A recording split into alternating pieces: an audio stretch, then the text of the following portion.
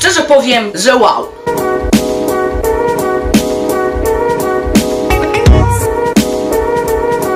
Na moim kanale udało się mi coś uzyskać i jestem niesamowicie z tego zadowolony. Się mnie pytacie, Michał, ale co w zasadzie ty uzyskałeś?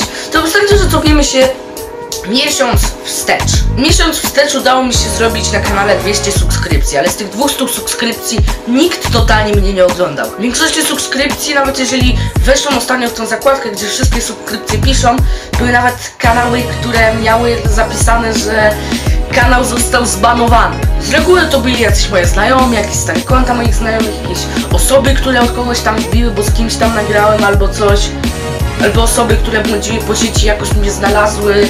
Albo też osoby, które jakoś chciały się wybić i zobaczyło, o, on ma tyle subskrypcji i ten. I to nie była dobra społeczność wideo. To nie było to, co ja chciałem uzyskać na kanale. Chciałem mieć widzów, którzy mnie oglądają. W którymś momencie udało mi się to zrobić.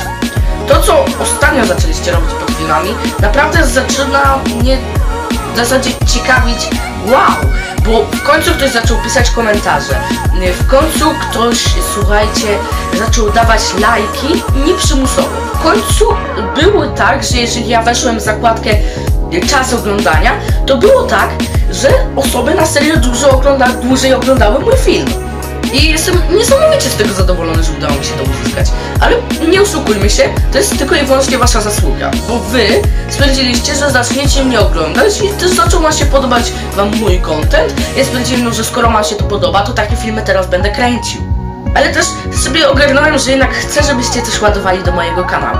Dlatego słuchajcie, tak, na ekranie pojawia wam się mój. Wszystkie osoby, które na niego wbiją, dodam. Także, że do mnie napiszecie, niezależnie czy macie subskrypcję, tych subskrypcji nie macie. Nawet jeżeli nawet kanału nie utworzyliście i chcecie się na przykład dowiedzieć, jak utworzyć kanał, to ja nawet możecie tam wbić mnie tam zapytać, czy coś. Z każdą osobą, którą będzie, nagram chętnie, z każdą osobą polecę chętnie, a jeżeli nie chcecie nawet nagrywać materiału w tym stylu, spokojnie polecę albo ocenię wasz kanał na odcinku. Seria oceniania kanałów też się pojawi na kanale, no i co? Też jakby to powiedzieć, chcę utworzyć e, team do e, Fortnite'a, CS-a, Robloxa i różnych tego typu gierek. Więc jeżeli grasz jakąś grę, jakąś taką fajną, która jest dla większej os ilości osób niż jedna i jest właściwie multiplayer, to napisz.